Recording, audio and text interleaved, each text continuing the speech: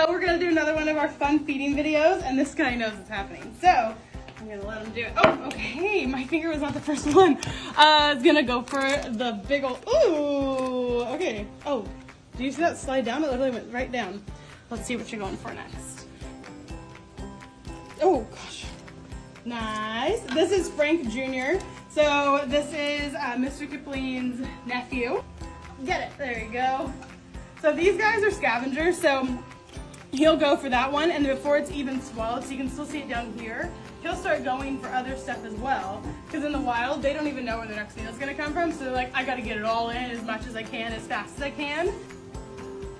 There we go. I did offer you that, but that's fine. So many crunchies.